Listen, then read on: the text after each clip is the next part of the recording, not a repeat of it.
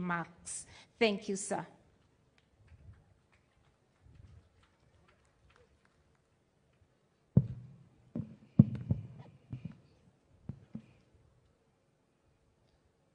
Your Excellency, the President and Commander-in-Chief of the Kenya Defense Forces, Dr. William Samoei Ruto, our Cabinet Secretary for Defense, Honorable Duale,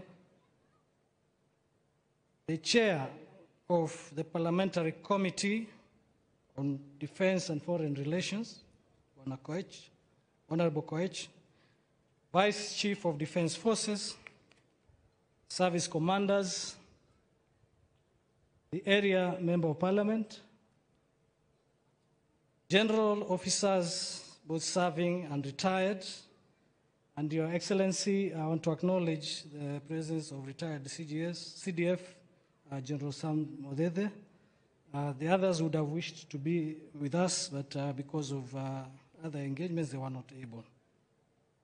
I also recognize senior uh, retired generals of the Kenya Air Force. I would kindly request them to stand so that we acknowledge you.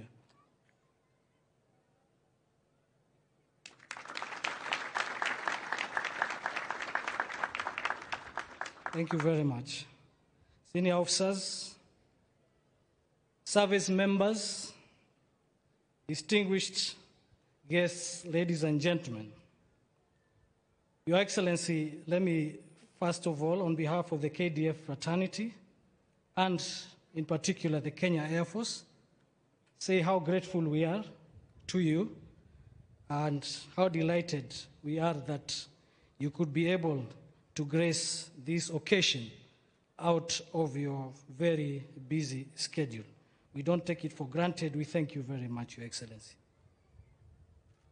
As we celebrate a milestone of profound significance, this 60th anniversary of the Kenya Air Force, this occasion is not merely a commemoration of six dec- decades of existence, but it is a testament to the resilience, dedication, and commitment of the men and women who serve and who have served this great service to provide great, this great nation securities, security in the skies.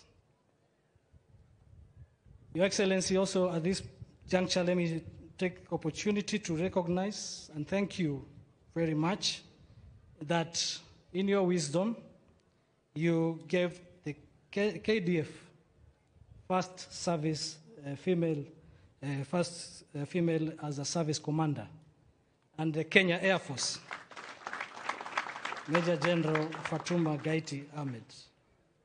I not quite sure, but I think it is the one, the only one in Africa, and probably in the world as well. So thank you, Your Excellency, for that honor. We extend our heart, heartfelt congratulations to the entire Kenya Air Force for on this remarkable milestone. As we gather here, we are reminded of the humble beginnings of the Air Force, which was established in 1964, shortly after our independence. From those early days, marked by aspiration and determination, the Kenya Air Force has grown to a formidable force renowned not only within our borders, but across Africa and beyond. The Kenya Air Force has continually demonstrated excellence in its core mandates, that is, defending and maintaining sovereignty of our space, airspace. She has continued to ensure success in joint operations, working and supporting the Kenya Army, the Kenya Navy, and other uh, uniformed and armed services in the Republic through operations such as Linda Nchi and within the oper- continued operations in ATMIS. The Kenya Air Force has also conducted many missions in support of national humanitarian and disaster response, both within the country but also in the region. Case in point is the evacuation of Kenyan nationals from Sudan when that country uh, found itself in turmoil.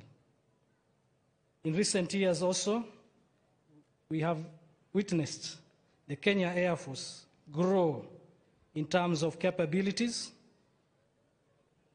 with, through Your Excellency's government, uh, the Kenya Air Force modernization program has seen the introduction of new, more capable aircraft, thus enhancing our national defense and also through training facilities that continue to develop our human capital.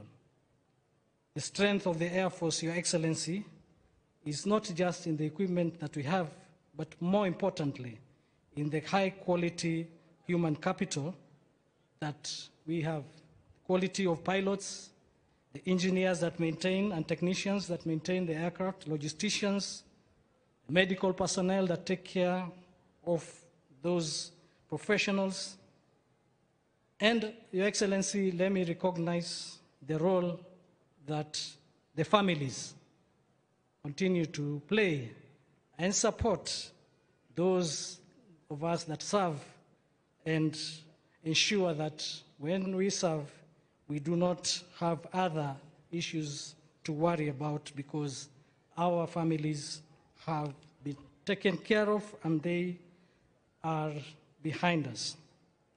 In particular, Your Excellency, let me recognize that the welfare of the KDF the personnel has been very well enhanced in line with your national agenda.